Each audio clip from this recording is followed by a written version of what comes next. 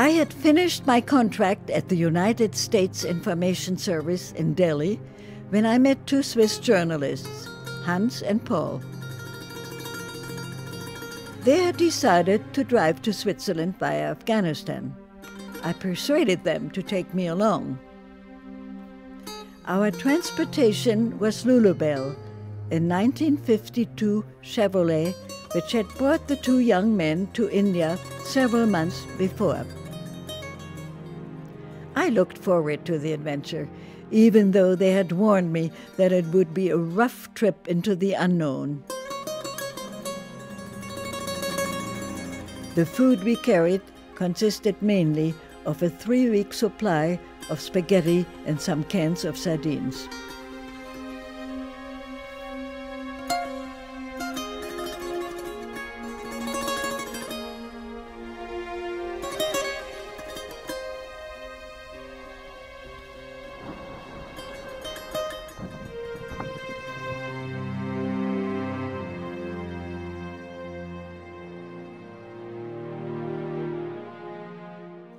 I was born in the free city of Danzig, which is Gdansk, Poland now, and I was born in 1925. My parents had been very successful in business, so in the mid 20s, they were able to buy a house with a beautiful garden, and I have wonderful memories of the garden and the house.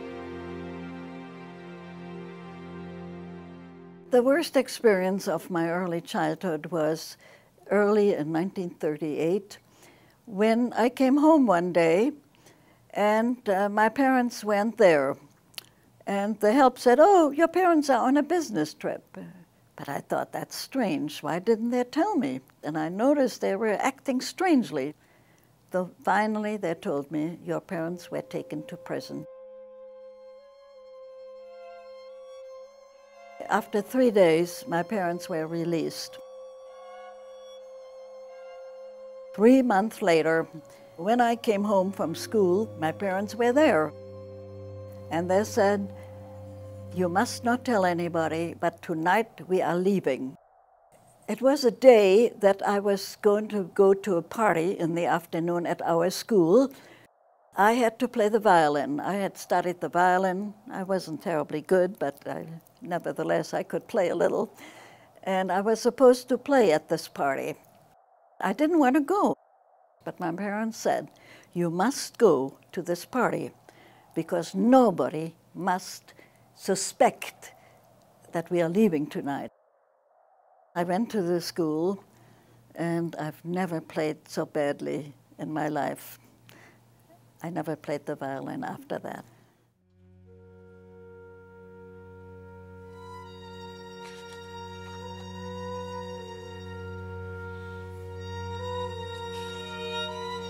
So that night, we fled. Uh, we had a car. Our chauffeur drove us across I the border. The train by myself. He will help you to get to Switzerland. Cross the Polish border, cross the German border. Just across the border. Yes, it was suspicious. So I got off the train. Couldn't go to another country without a stamp visa in your passport. Thirteen-year-old girls did not travel by themselves. Asked me to strip. My parents had settled in well, Belgium. On May 10th at 5 uh, a.m., I woke up. Always saw terrible planes in the sky and anti-aircraft guns. The Germans had invaded. Uh, the train was just Belgium. Just thousands of people crossing the border. Germans had taken Brussels, a town called Dunkirk. All the bombardments. And there was one place to another. Sleeping in barns. And then they would come with their Stukas next to hit him, and he lost his leg. They are going to win the war. Uh, I felt that I did not want to have children. I felt that I, I felt the world is too insecure.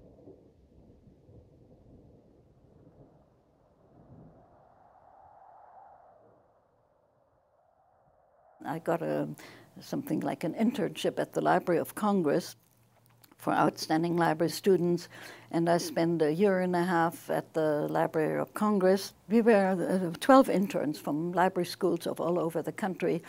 The librarian of Congress at one time said, Now, some of you will stay here, some of you will go out in the world. And I decided I go out in the world. Well, my first job uh, I took, I went to Japan as a librarian.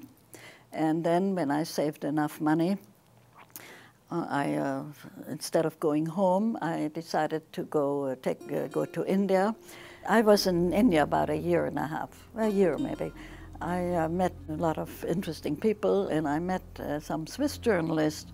And then I went by car with them through Afghanistan, Iran, Turkey, and that was quite adventurous.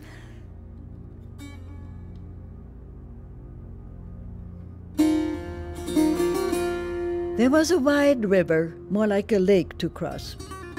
The two Swiss waded into the water to find a shallow spot, then decided to try and ford the river. The car stopped. We pushed and pulled without success. Finally, after a couple of hours, a man on a camel arrived. He looked at the car in the water, made some noises, and disappeared. Not long after that, several men on camels appeared with our Savior. They lashed two camels in front of the car, and in no time they succeeded in shifting her. Throughout our hazardous journey, the people were always willing to help, but would never accept any rewards, except perhaps a few Russian cigarettes that we had purchased.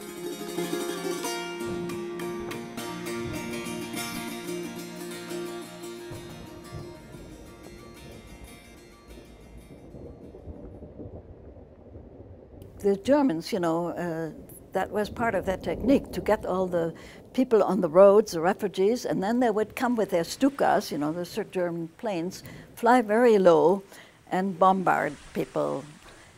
Whenever there were these planes, we were going into a ditch. If we found a ditch, and we would, uh, you know, just be right in the middle of the battle. And there, one day, we were all in a ditch. Next to me was a man. I don't know who he was. And the shrapnels of uh, the plane or something from the plane you know, hit him and he lost his leg. And I was as close as I am to this and I was okay. Now we were walking on and all of a sudden a small car stopped and a woman waved to us. We went to the car and she said, Come in, and, uh, I'm going to Abbeville. I'm the only bakery open in Abbeville, and I just was trying to get some flour from another village. So we were talking as we were in the little car. She said, You can stay with me if you can help me. So we moved into this little house, one room for the four of us. My brother and I learned how to bake bread, and my mother cleaned up and cooked. But my father felt he had to hide. Now, the Germans were in this town, you know. Meanwhile, all of northern France was occupied by the, by the Germans. Sometimes the Germans would come and would take the bread, they wouldn't pay. There was no electricity. No in line for three, four hours to get a egg or a couple carrots or terrible. A German uh, soldier. I think these people are Jewish. Jude? I do not understand. What do you want? If you are Jew, we will kill you. The whole town was evacuated. Big hay wagon left in a barn. French farmers had fled. On the truck, the train stopped, and the Vichy had started from one end of the false train. Paper, false paper, checking the paper. So, how to get to Lisbon?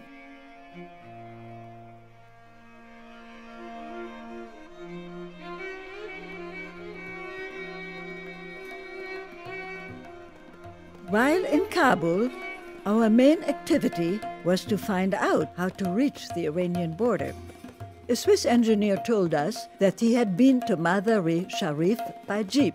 What was beyond, neither he nor anybody else seemed to know. I went to the U.S. Embassy and told an official what we were planning to do.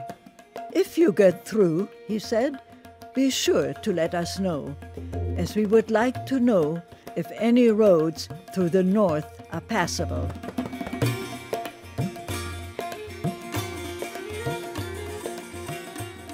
I had uh, gone to Pakistan as a uh, actually library consultant, the only foreign woman in a little town. I had some colleagues, but they were men. Sargent Shriver came because he was interested in the man that was the president of this Academy for Village Development for whom I worked. And he just brushed through there and looked at our my housing, and and then some of his um, lieutenants came, and we spent days talking. And I basically said, when I finished with my contract, I would like to work for the Peace Corps. So when I came back to this country, uh, you know, I joined the Peace Corps as a training officer, and I spent five years, and it was very exciting. I felt the, uh, particularly after I'd heard Kennedy, I felt that I could perhaps contribute something to this country.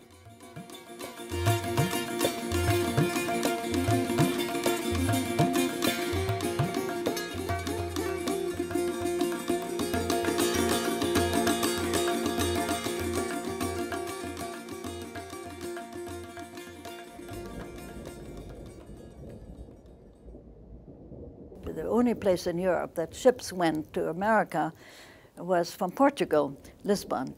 But the problem was we couldn't get a visa through Spain. We went to a town called Lourdes on the um, north side of the Pyrenees, French side of the Pyrenees, and then we got they got a guide.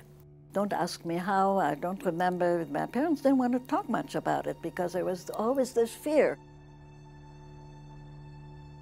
So one night, uh, with a guide, we walked over the Pyrenees. Very little recollection of it. I don't even know the route we took. All I know, in the middle of the night, it was very dark. It was uh, fall, so it was cold. I think there was a forest, that's all I remember. Just put one foot in front of the other, and we walked all night.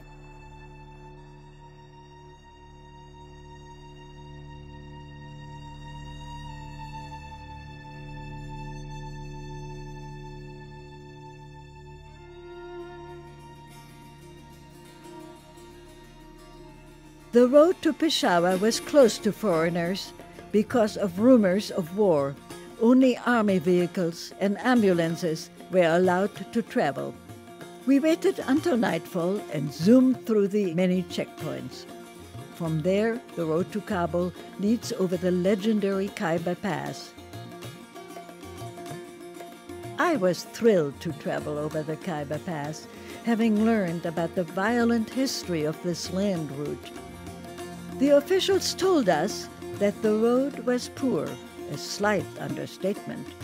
Every few miles, there was a sentry making sure nobody stopped or took pictures. All these ferocious looking fellows carried guns.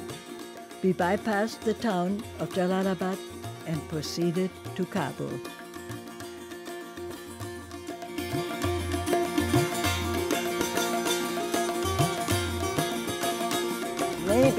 Partly because I became that adventurous. You know, I, I, said that in the book.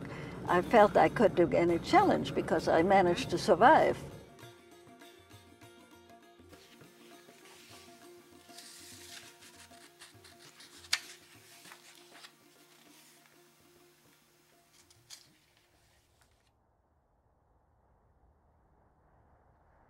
We walked all night and then we got to a little place uh, in the late morning in Spain. We took the train illegally through Spain, and uh, the Spanish people, you know, these were poor people. We couldn't speak Spanish, so I don't know what they asked us, but they realized that we were refugees. Uh, Jewish did not matter at the time, but they even shared their bread with us. Well, then we got to Portugal. And then we had to wait for the ship, and then we got uh, to uh, this country shortly, just a few weeks before the United States declared war.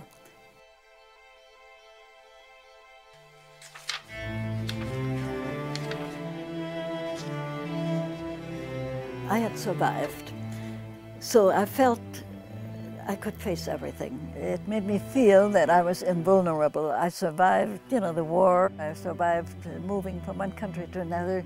I never was introspective in terms of saying, oh, I did this because I'm that way or that way. But on the other hand, I look around and I say, oh, at least I've done it. I had a good life.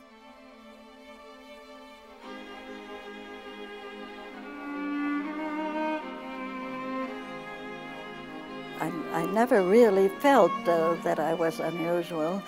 Uh, but uh, I guess looking back on it, it was unusual for a woman to do some of the things I did. Sometimes I had problems, but I didn't mind, but because I felt um, it's one way to advance the world of women. Even though I think tremendous progress has been made for women in the world, but there are still many problems. I've worked in family planning and population education. This was very important to educate them. And we also found that they were empowered when they had jobs, you know, and even if they had children. Uh, but sometimes it was hard for them.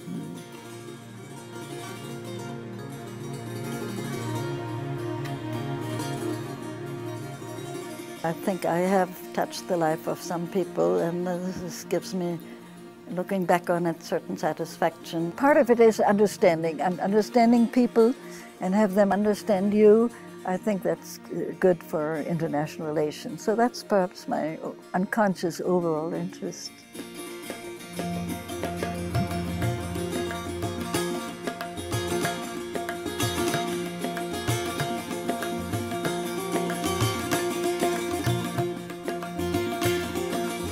You know, there always is hope that maybe this will prevent war.